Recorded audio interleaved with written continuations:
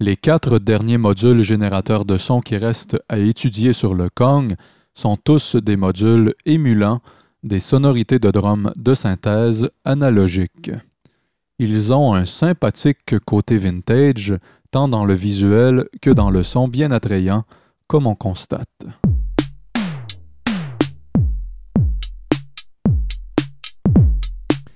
Le bass drum possède un potentiomètre permettant de régler sa hauteur musicale initiale. Le bend amount ici permet d'élargir la course fréquentielle du pitch bend de l'aigu vers le grave. Dosé à la bonne valeur, des sonorités de kick type Goa se font entendre. Le bend time gère le temps que met le pitch bend à se faire entendre de son point le plus haut à son point le plus bas.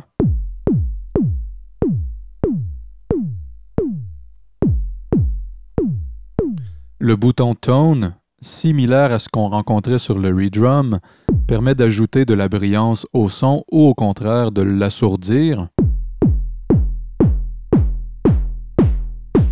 Noise mix permet de doser la présence du bruit, noise, dans le son.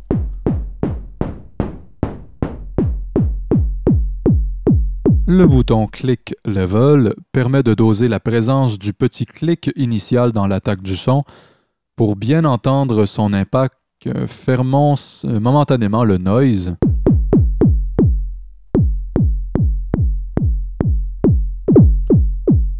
Click Frequency permet de choisir la fréquence de ce petit clic initial.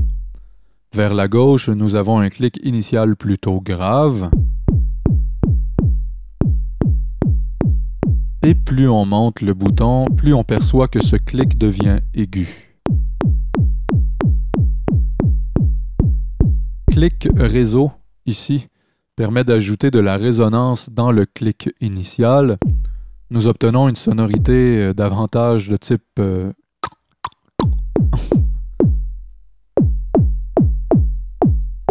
Cette résonance devient bien audible lorsqu'on bouge la fréquence de ce clic ici. Avec le paramètre Attack Time, nous pouvons faire en sorte que le corps du bass drum soit moins percussif Comme on l'entend, ce paramètre n'affecte pas le clic initial, mais seulement le corps du bass drum. Nous pouvons finalement structurer la longueur de notre bass drum avec ce potentiomètre nommé decay.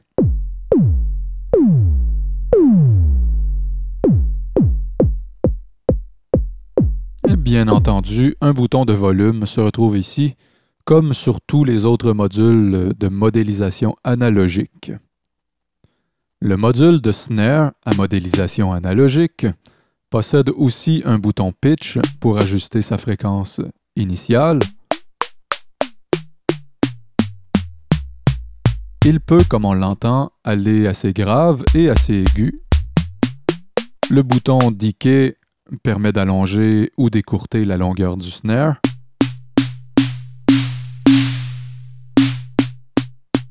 La fonction Harmonic Frequency permet de changer la fréquence du signal harmonique qu'on entend par-dessus un autre signal qui lui reste stable en fréquence.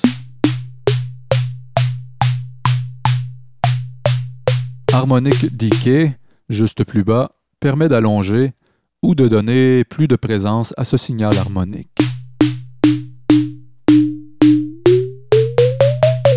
Harmonic Balance permet de balancer le signal entre le son premier et le son harmonique.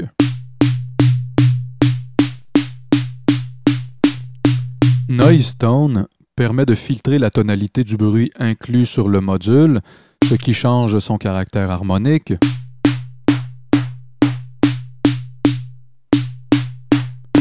La longueur de ce bruit peut être ajustée ici par le bouton Noise Decay. À noter que le decay initial contrôle aussi le decay du bruit. Finalement, le bouton Noise Mix permet de balancer le signal entre le son du noise et le son du corps du snare drum de synthèse.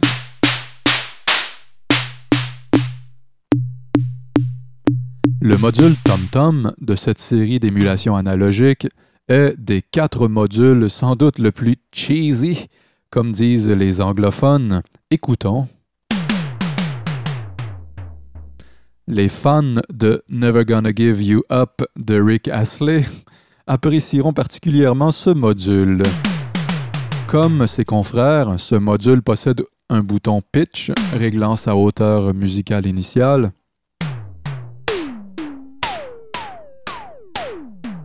Comme le bass drum, il possède un bend amount qui, on le rappelle, permet d'élargir la course fréquentielle du pitch bend de l'aigu vers le grave.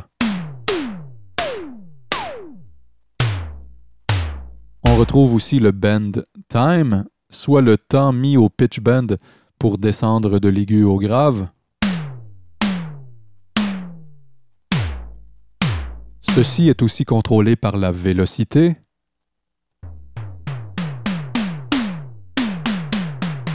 Le bouton Click Level permet de doser la présence du clic initial qui donne l'attaque du son. Le decay permet d'allonger ou d'écourter le tom-tom.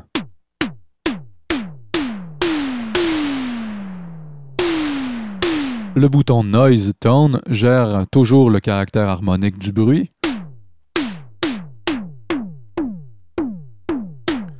Le Noise Decay gère la longueur du noise.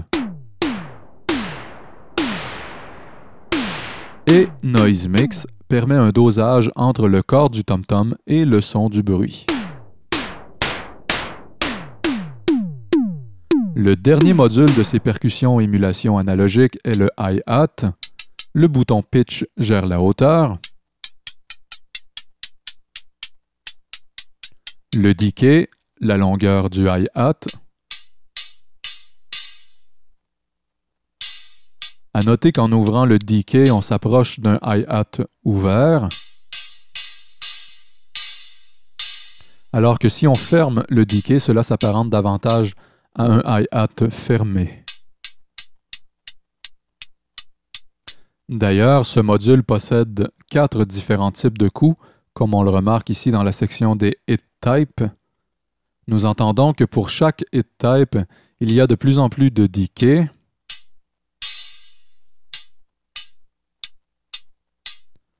La nature de ces hit euh, type, type de coup en français, se base sur le decay initial du module.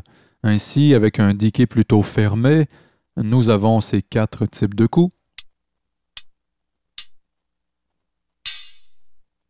Et avec un decay à la base déjà assez ouvert, nous avons ces quatre types de coups.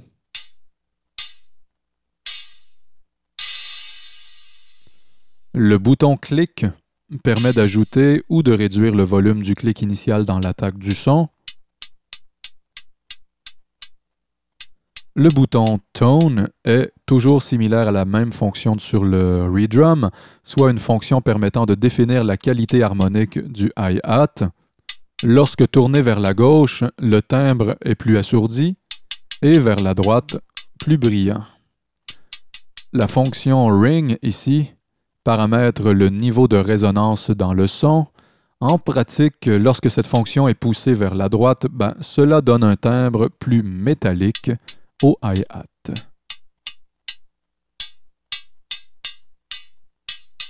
Voilà qui complète l'étude des différents modules de drum présents sur le Kong.